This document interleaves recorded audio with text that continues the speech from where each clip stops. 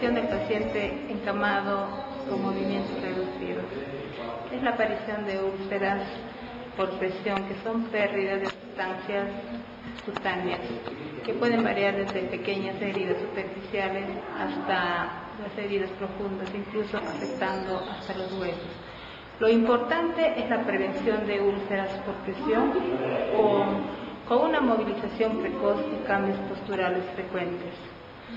Si tenemos dispositivos como el colchón antiescaras o, o las taloneras de borriquitis, son dispositivos de ayuda y nunca sustituye a los cambios posturales.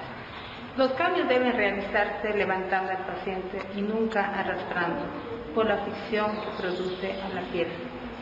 Las principales posturas, las que podemos poner a un paciente encamado con son de, de boca arriba de cúbito supino, de boca abajo cúbito prono, de, de cúbito lateral derecho, izquierdo y sentado.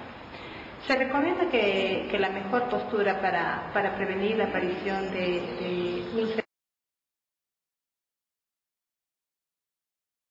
que esto facilita el sueño del paciente durante la noche y la respiración. Ya. Bueno, vamos a ver eh, la postura del cúbito supino boca arriba, empezando aquí por la cabeza del paciente. La cabeza del paciente se debe colocar una almohada adecuada que no quede ni muy alta la cabeza ni menos colgada hacia atrás. El cuello debe estar recto en alineación al tronco. También trabajamos con los brazos. Los brazos deben estar ligeramente separadas con las manos mirando hacia arriba o hacia el techo. También podemos utilizar las almohadas.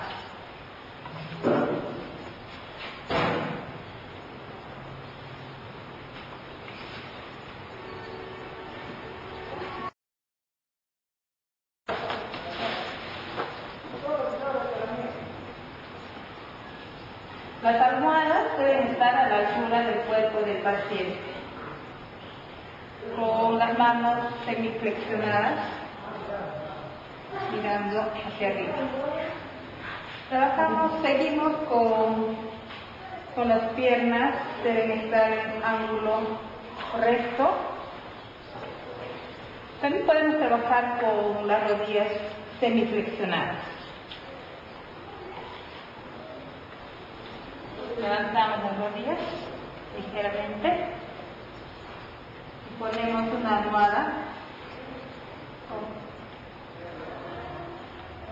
y también podemos poner este, una almohada una almohada que haga de tope con, con los pies para que así el paciente se quede cómodo también aquí estamos utilizando este, las taloneras de borriquitis, es como un dispositivo de ayuda para la prevención de escaras o úlceras en los talones, en los malleolos o en los pies.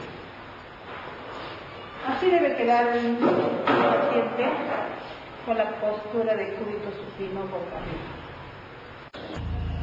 Vamos a ver aquí la postura del cúbito lateral derecho. Aquí la cabeza debe estar alineada Empezamos a trabajar lo que es la espalda. Lo más importante en esta posición es la espalda. Ponemos una almohada de descarga. Esto también nos ayuda a evitar la caída del paciente hacia atrás. Tenemos dos opciones para el movimiento de brazos. Una es flexionando el codo hacia arriba con las palmas de las manos mirando hacia arriba. Y luego también se pueden estirar las manos con las palmas mirando hacia arriba. Luego acomodamos el brazo izquierdo en semiflexión con las manos extendidas hacia la propia. Luego trabajamos aquí que son las piernas flexionando las, las rodillas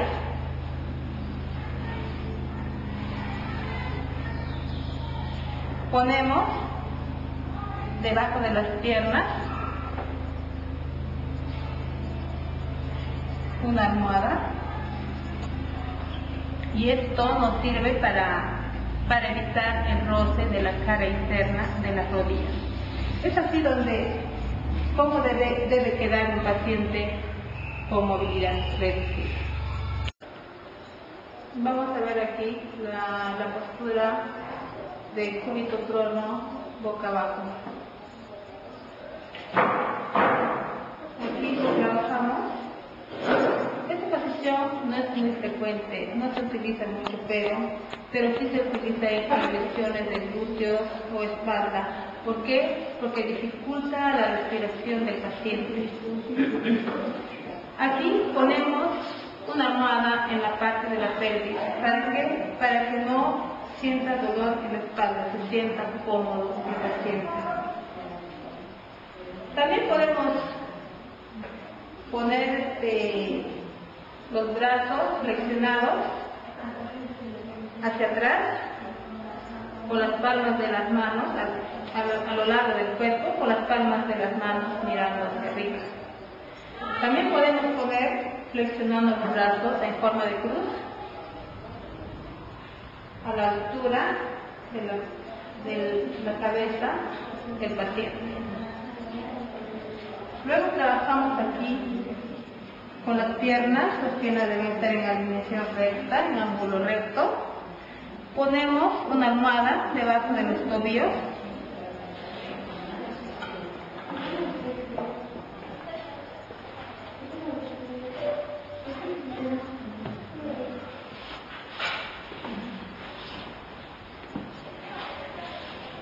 debajo de los tobillos. Es así como queda un paciente recto alineación en el tronco.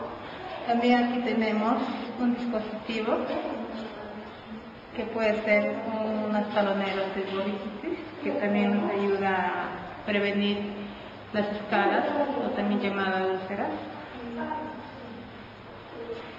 Es así donde, cómo se debe poner un paciente en cúbito prono supino boca abajo. Aquí vamos a ver la postura eh, sentada, que colocaremos al paciente con movilización reducida. Aquí este, vamos a trabajar con la cama articulada. Esta posición de sentado, la postura de sentado, nos ayuda, nos facilita a poder dar de comer al paciente. Aquí trabajamos con una cama articulada, estamos a, a 90 grados, con una almohada. Ahí. Ponemos al paciente. Luego, si, si no disponemos de, la cama articulada, podemos este, colocar una almohada en la parte dorsal, en la parte lumbar, que esto nos va a ayudar en la postura del paciente. Aquí ponemos, trabajamos con las piernas estiradas, este, con, con las rodillas semiflexionadas. Ponemos una almohada de descarga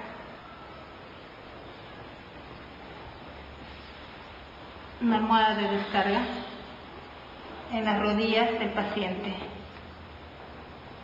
Y también ponemos una almohada en la parte del tobillo.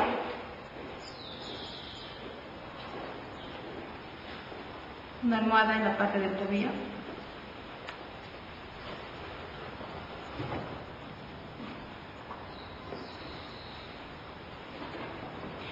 Podemos poner una almohada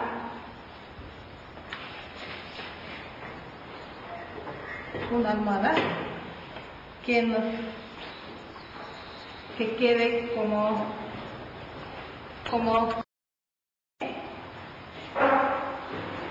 con las manos flexionadas hacia el vientre Así es como debe quedar la postura de un paciente encamado con movilización reducida.